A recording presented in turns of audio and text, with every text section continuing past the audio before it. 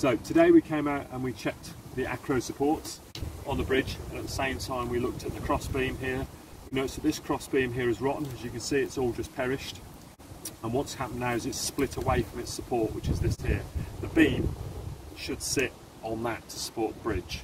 But what's happened is it's dropped um, and the, the rot has set in that much and it's now all the way along here. You know, all these bits is just mobile. As you see, it's just it's just polystyrene, it's just falling to bits. So what we're going to do this afternoon, we're going to put a piece of wood in under it and a couple more supports to jack that whole piece of the bridge up. Otherwise, it's not supporting the length, the width of the bridge, unfortunately. But as you can see as well, this is the on the bottom of this upright, and it's just falling to bits. You know, it's just crumbling. You see it. So the work today will make it safe for visitors for the meantime? Yeah, this will make it safe, and we'll, you know, we, we've got more work to do. But what it does is it just highlights just how important it is that we replace it. The Woollett Bridge is an incredibly important part of the landscape. It's part of the route through the walk, through the, the Walk of Art. Um, the bridge, I say, is quite iconic and quite important. You're coming off Grotto Island.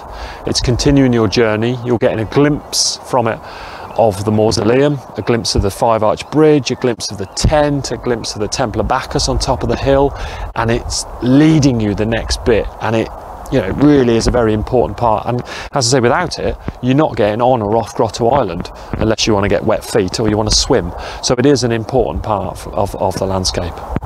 And what's happened to it that's damaged?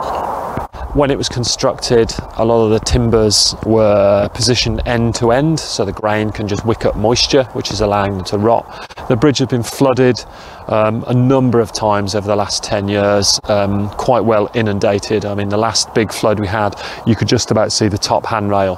Um, so it, really did uh, suffer greatly. And then it you know, we get these wonderful high temperatures, so it's going from one extreme to the other. Um, it's not in, you know, touch wood, it's not in imminent danger of collapsing like tomorrow, but you know, we have got to do something about it because it's not going to last forever. I, th- I think if you want to make a, a long lasting um, donation towards Painshill, you couldn't go much further than donating towards the, the Bridge. You know, it really is an iconic, important part. It's depicted in the paintings. It, it's been drawn in the 1760s. It's in all sorts of other images, the Green Frog Service for Catherine the Great and that sort of thing. So it's such an iconic part of the landscape to see. Um, and you know, and, it, and it'll be there in 50, 100, 200 years' time. So it really is a long-lasting donation. Well, thank you very much, Andy. You're welcome.